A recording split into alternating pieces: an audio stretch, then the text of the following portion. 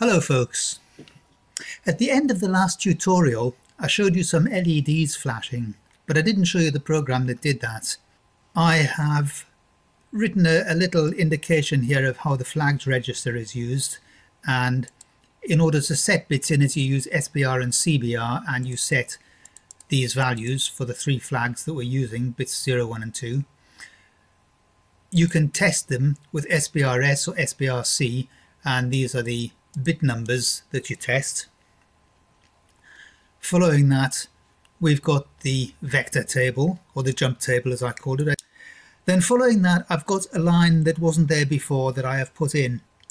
Now it starts with a label and in a program when you do a jump to a label the compiler uses that label as an address and that's what it's doing here as well. It's using this as an address. Now the program was written to do a specific thing. Uh, that it doesn't accept information from outside.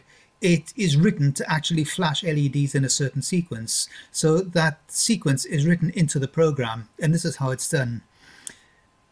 We've got a declare byte and then these bytes are declared and these are the values that you have to send to port B in order to turn the LEDs on and if you look at the schematic you'll be able to see how that works. What we have here are the uh, LED numbers and they're arranged in a circle so one, two, three, four, five, six, something like that and these are the values that you have to send the port in order to turn those LEDs on. So that's written into the uh, into this line here. Now these are bytes that are being written into program memory. But remember that program memory is written in words and a word is two bytes. If we compile this and we look at the flash memory, we see we've got a lot of instructions here which are the same. 1895, 2, 3, 4, 5, 6, 7, 8, 9 and then there's something else here. And then there's some more of them. If you look at the program you see the first instruction is different and then you get all these 1895s and there's nine of them. So if you look at this there's a different instruction and they're one two three four five six seven eight nine. So RETI is that 1895 so the whole of program memory is, is constructed in two byte words. And a two byte word is usually used for an instruction. But if you look for this here the 090A0C there they are. 090A0C 11 there's the 11 and you can see that these are written in bytes not as words because I needed to write in one, two, three, four, five, six values there and I wanted to terminate it with a zero for the program to recognize that it had got to the end of the line. I had to put in two zeros because it needs to have an even number of bytes in there because they have to fit into two byte words. In the program when we actually use them there's main that's all the uh, the setup. And here's the actual program. There. There's not much to it. The first thing it does is it loads the Z register low with two times rotate 1 now rotate 1 is that label that we just saw. It's two times because it's got to convert bytes into words. So you might just remember that format for when you do the same thing. So the program is quite simple. It loads the Z register to point to the beginning of that string of characters. So it points to the 09. Then we have a loop label LPM is load from program memory and it loads R20 from Z+. Plus. The Z register is what we set up here and it's pointing to that label and because the uh, R20 is, is one byte, it loads one byte from Z plus, so from, from that label, and then it increments the Z register. So each time you access it, each time you uh, use it, you increment it at the same time with a with one instruction. Having loaded it in, we test its value to see if it's a zero, to see if it's got to the end of the, the string. If it is, if it's a zero, we do a BREQ, a, a break on equal, and that will go to R1B, which does a jump to ROT1, which is up here. That will, so it's got to the end of the string. The Z register is no longer pointing to the beginning of the string, so here we make it point to the beginning of the string again, so we can repeat this loop. If we haven't got to the last character, so this BREQ fails, in other words, the, the, the uh, execution just drops through it to here, we say send to port B out is output to port B what is in register 20 and that is one of these values. Then we have a label saying wait one and we wait half a second by doing a little loop here. So we, we test the half second bit in the flags register and we jump back to wait one if it isn't set yet. So we're waiting for that bit to set by the interrupt and if it hasn't set yet we just jump around those those two instructions. When it eventually does set we drop through here and we clear it again and then we jump to R1A which is there and we reload the next LED from the sequence and that's why the LEDs run around in a circle.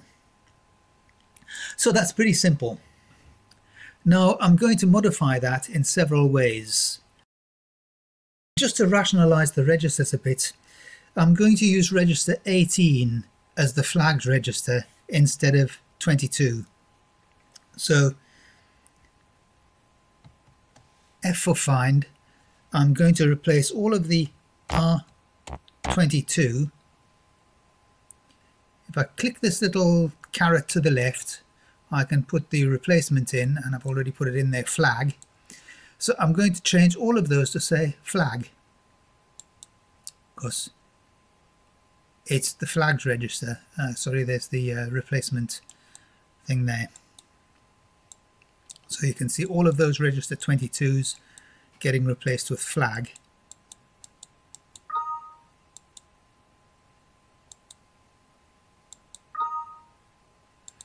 And I think that's the lot. Yes, it's put a red ring around the R22 to say that it doesn't exist anymore.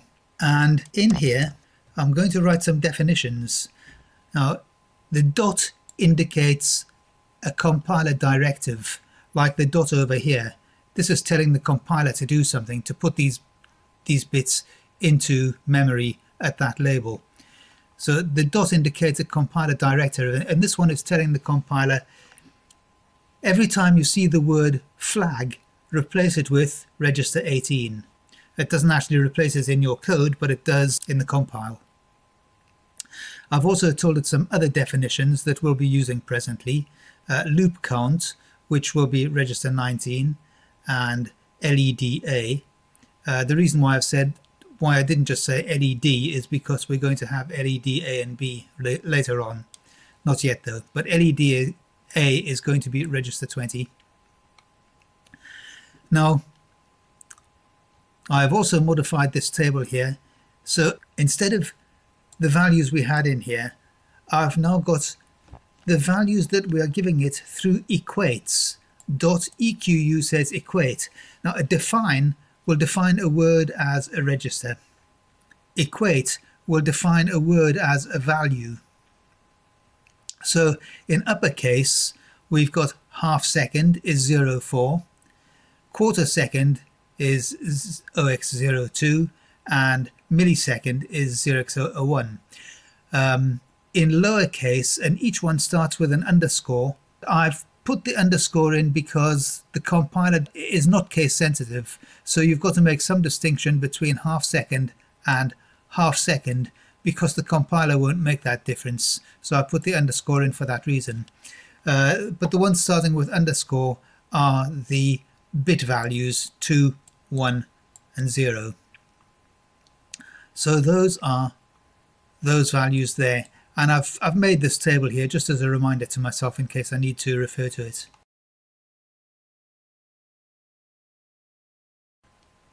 Now when we read the program, we see that we are loading from program memory LEDA from Z+. we are sending to port B LEDA. It makes the program more understandable to read. However, I must tell you that it doesn't make a program more easy to debug, especially if it's somebody else's program. If it's your program and you have a reasonable amount of confidence that these things are correct, that's fine.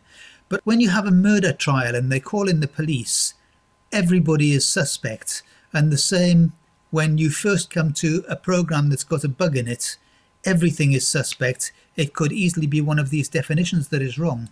So when I'm checking a program for, for debugging, I'm constantly referring back to what the defines are and what the equates are to find out if, if they all work. And then plugging them back into what registers are being used so as I can step through the program and see what's going on. Right, so we'll just compile that and single step it just to make sure that everything's all right.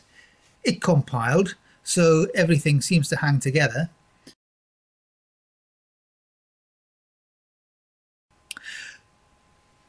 So that's all working. Now I'm going to do some more modifications I'm going to flash some different combinations of LEDs. Okay, I have modified it, but before I show you the code, let me show you the effects. Oh, that's completely blinding my camera.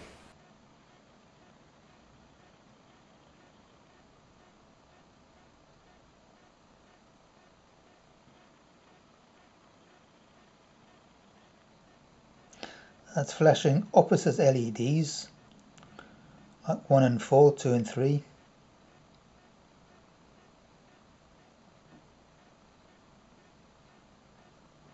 That's the opposite sets and that's all of them. In order to flash all those various combinations I set up some different strings here. There's the original rotate 1. There's rotate 2 which is like opposite pairs of LEDs. Uh, rotate opposites. Um, opposite is uh, one, two, three, then four, five, six, and all of them is zero, seven. That's one, two, three, four, five, six is zero, seven, and then Fox Fox is none. Well, I could have done it with one Fox. I've set some extra bits.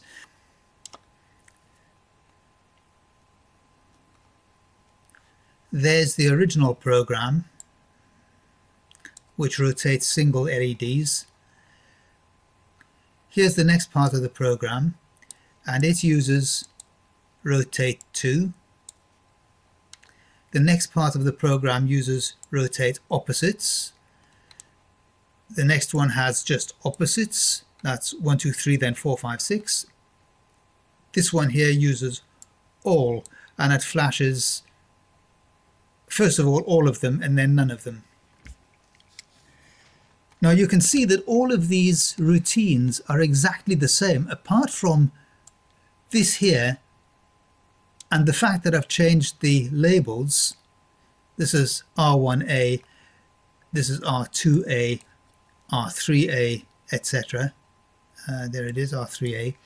Um, so apart from the fact that I've changed the labels, because every label in the program has to be different, and that they're using different strings, these routines are all absolutely identical. So the next thing I'm going to show you is I'm going to write a subroutine with only one of these and then simply pass this as an argument to the sub subroutine. Okay, I've taken away all of those little routines. There's just a single one here now. And this is a subroutine. It starts with a label. We do a remote call to the to the label. uh, it executes the subroutine and then it does a return.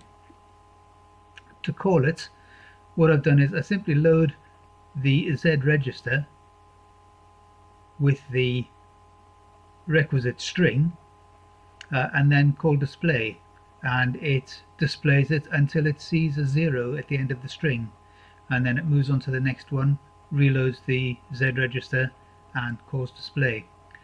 So the whole thing is suddenly much smaller now. But does it work?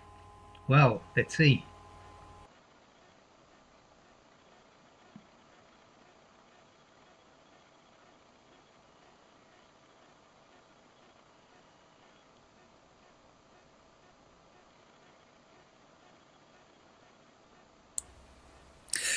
Right, now, in the last session, I said that I was going to explain how to light the forbidden pairs of LEDs by rapidly flashing between them.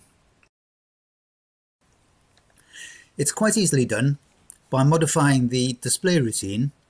So what we do here, we load two LEDs at the beginning. So you load LED A from the string and then LED B from the string. Obviously, you have to arrange the string to activate the correct combinations of LEDs.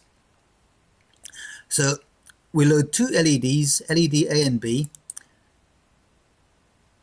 Then we send to port B LED A.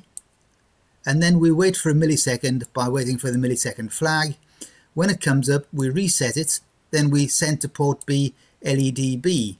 And again, we wait for the millisecond flag when it comes up, we reset it, and then we drop through and we check to see if the half second flag has set yet. If it has, we reset it, or if it hasn't, we jump to LP, and LP is up here, and we simply start displaying the LEDs again. So LED A, then LED B, and we display them for a millisecond each, and we keep on doing that until the half second is met. When that eventually happens, we drop through to R1A, up here and we reload the Z register. So here's how it works.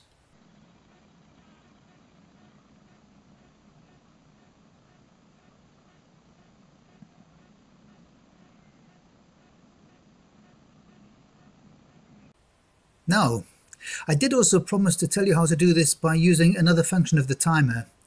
It's very easy. Uh, nothing to be worried about, so let's just get straight into it. If we look at the data sheet, timer counter 0, you see that the first thing it says is there are two independent output compare units. There's output compare register A and output compare register B. There's a little diagram here that shows how they work. In this diagram, this is what I used for output compare register A, and you can see that this is the one that I've got set to 128. So the timer counts up, it reaches that register, it resets, it counts up, reaches that register, resets. Because we're in CTC mode, clear timer on compare. So each time it resets, it starts to climb again, but there is another register here, which they have um, set with various values, and each time it reaches that value, they are using that output to toggle a, a pin to produce a, a waveform output. I'm using it to generate an interrupt so that I can do things with the interrupt and control exactly what happens. I don't just want to toggle a pin. Here's the effect of it. Here's my timer counting up, 1 8th of CPU clock speed. Uh, so it counts from there up to 125, its top limit, in 1 millisecond and that is when it compares with output compare register A. If we use the other output compare register B and we set it for exactly half, so half of 125, let's call it 72, then it will take a half a millisecond to reach this point. So, so this amount of time here will be 500 milliseconds. Now we will have an interrupt at the half millisecond mark and another one, a different one, at a millisecond. Now if we go back to the program, you remember from the vector table this is this is the vector that we're actually using, timer compare match A, and there is also a timer compare 0 match B. So we'll write a new label in here and we'll develop a new interrupt service routine to handle that interrupt. Right, so what changes have been made? Well, firstly, we've got another R jump to a different handler when the compare match B comes up.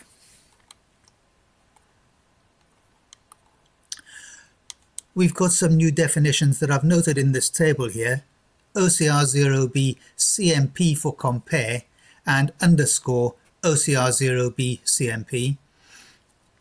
We have defined those two. The, the, the table, of course, is all just a comment. It's, it's just a, a note to remember. We've defined those two in equates. So OCR 0B compare is the 08 to set the bit and the underscore is to test the bit.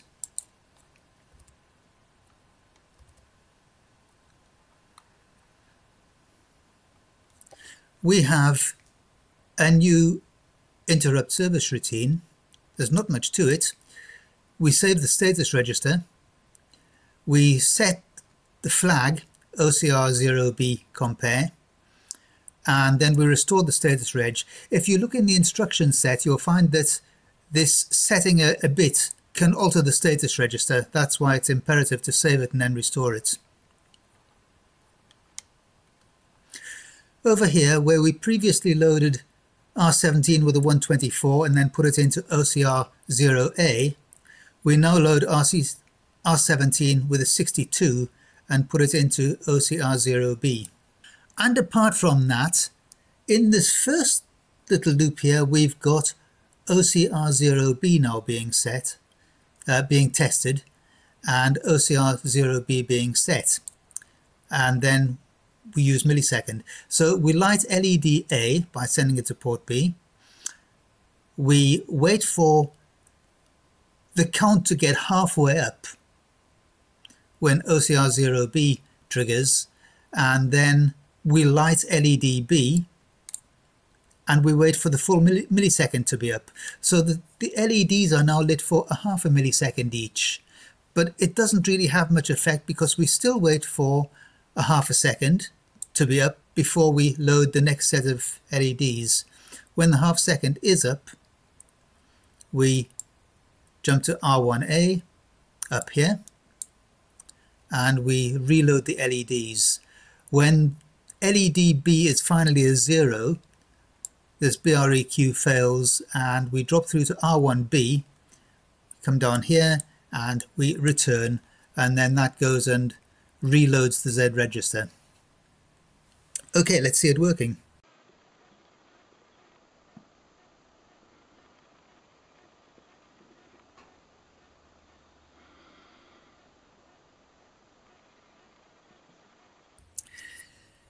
Now, if we bring OCR0B, we'll make it not equal to 62 anymore, and we bring it down here somewhere, let's say equals 12 for argument, that will bring this line here across there, and you can see that LED A will be lit for a much shorter period than LED B which will be lit for all of this period. That's very easy to do. All we have to do is put in here 12,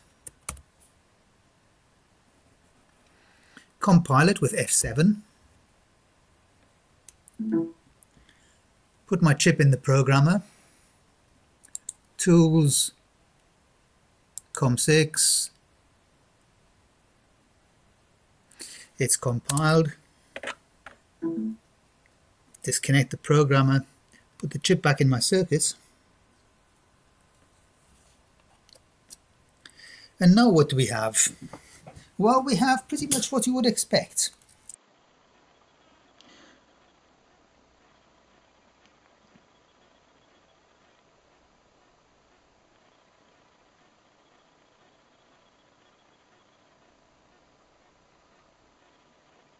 Naturally, if I set this in the other direction, so let's say 12 away from 124, which is uh, 112, if I set that to 112, and we recompile that, put it in the chip,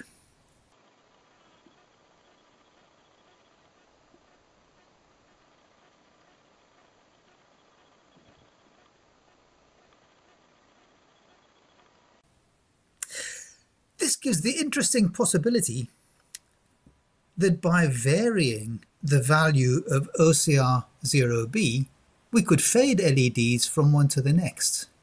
And I've tried it out. If you watch any one single LED, you'll see it come on, get brighter, then get dimmer and go out again.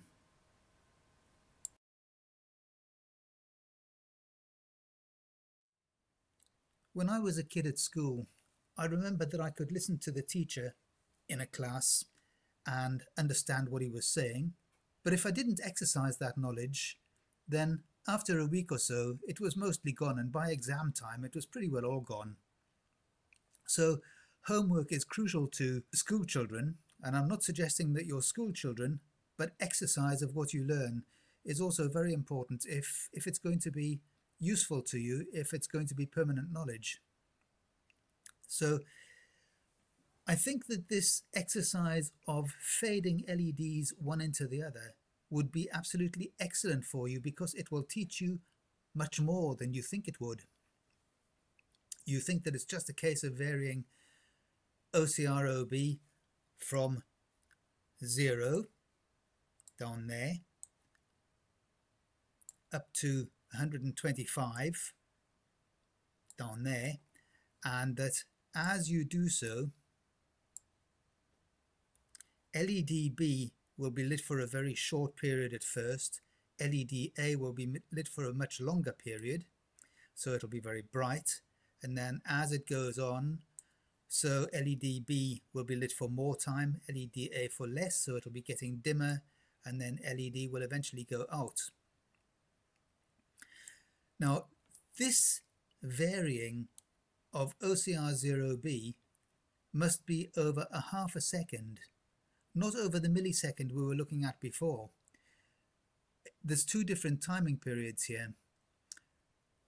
Yes, the LEDs are actually alternating on a millisecond basis, but here on a half second basis, we have to change OCR0b from its lowest value, which is going to be close to zero, and I'll come back to that in a moment, up to its maximum value, which is going to be close to 125. Now this shows all of the LEDs. Here's your physical LEDs on the board. Again, your program LEDs. And these are your physical LEDs down here. So when the program starts off, in this first time slice from 0 to half a second, LED 1 comes on at maximum brightness. OCR0B gets varied throughout that time slice up to half a second so that LED 2, which is LED B, goes from zero brightness to full brightness. When it gets there,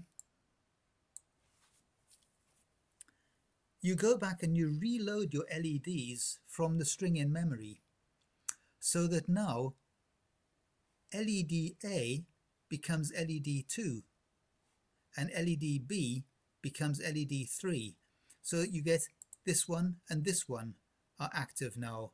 And again LED A is getting dimmer but in this case it's LED 2 LED B is getting brighter but it's in this case now it's, it's moved on to LED 3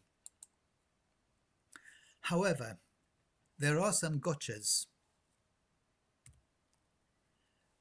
When OCR0B gets up to its maximum value, you want to set it back to, to how much? To zero? Well, in the program, you test your half second flag here. When it eventually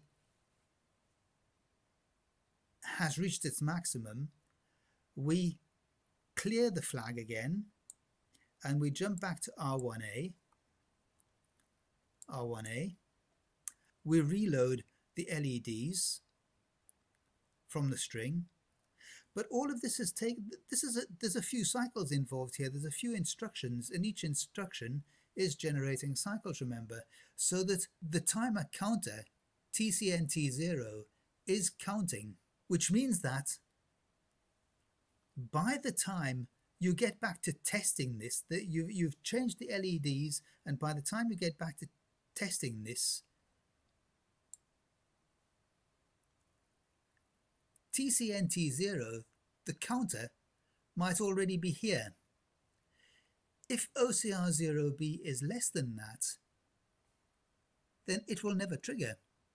Or, at worst case, you would have to wait for this to count all the way up to 125, for the CTC to initiate it back to zero again, and then at that point, OCR0B and TCNT0 will be equal, so you might get a compare at that point.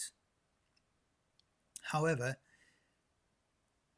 OCR0B should get set back to some value that is slightly larger than OCR0B will be at that point.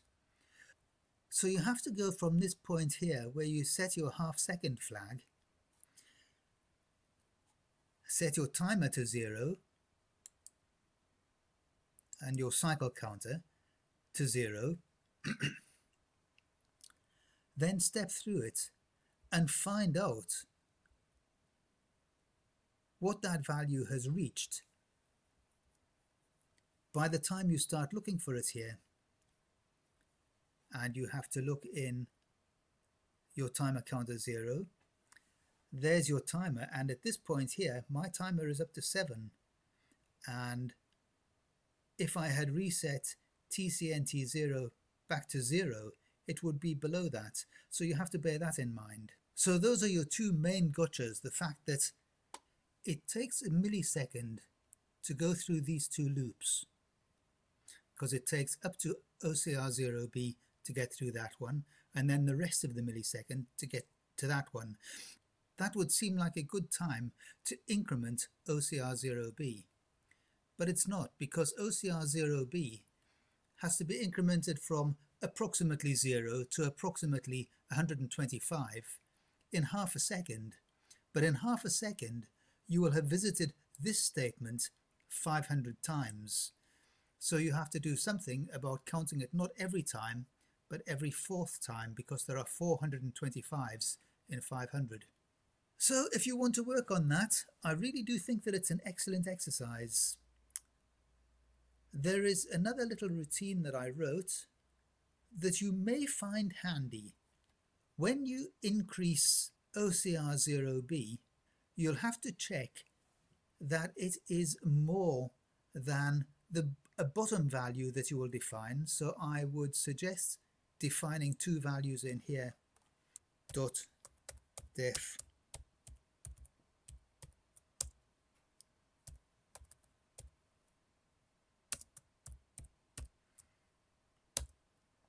and maybe also um, define a count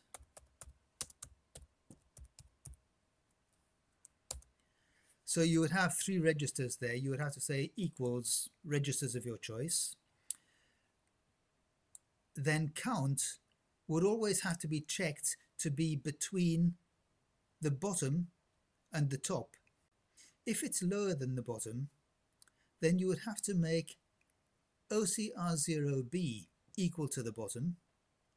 If count is in the window between bottom and top, then you can set OCR0B equal to count.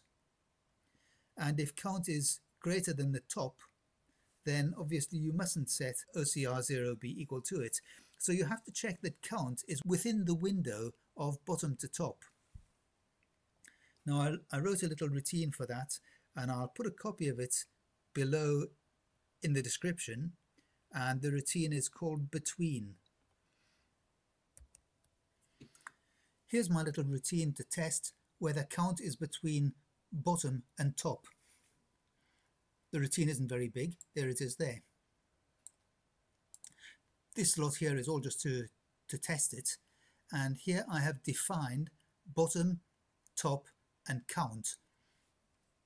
Now, this is actually quite a nice little example of the benefits of using symbolic values, of making these defines and using symbols, because it means that you could include this in any program that has bottom, top, and count defined. And there could be any registers, and the compiler will take care of that.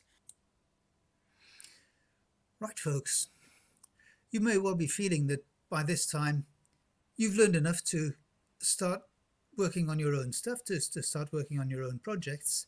And in that case, that's great. That's, that's what the course was all about. But if you do want to stay with me just a little bit longer, I'm going to go through some of the stuff that I did on the timer in the next module. Uh, I'm not going to be stepping through it or going into it in a great deal of detail, but I'll let you see some of the routines that I used. Uh, for example, for storing stuff into the memory, when when the timer has been set on that little, that little gadget, uh, it stores it into the program memory. And storing into program memory is not straightforward. So I'll show you that routine and uh, a little bit of arithmetic that I did, uh, binary arithmetic, that, uh, that could be of interest to you. Yeah, so I think we've probably got about 10 minutes on, on the next module. And apart from that, well, thanks for staying with me and uh, I hope you enjoyed it. I hope you learned something.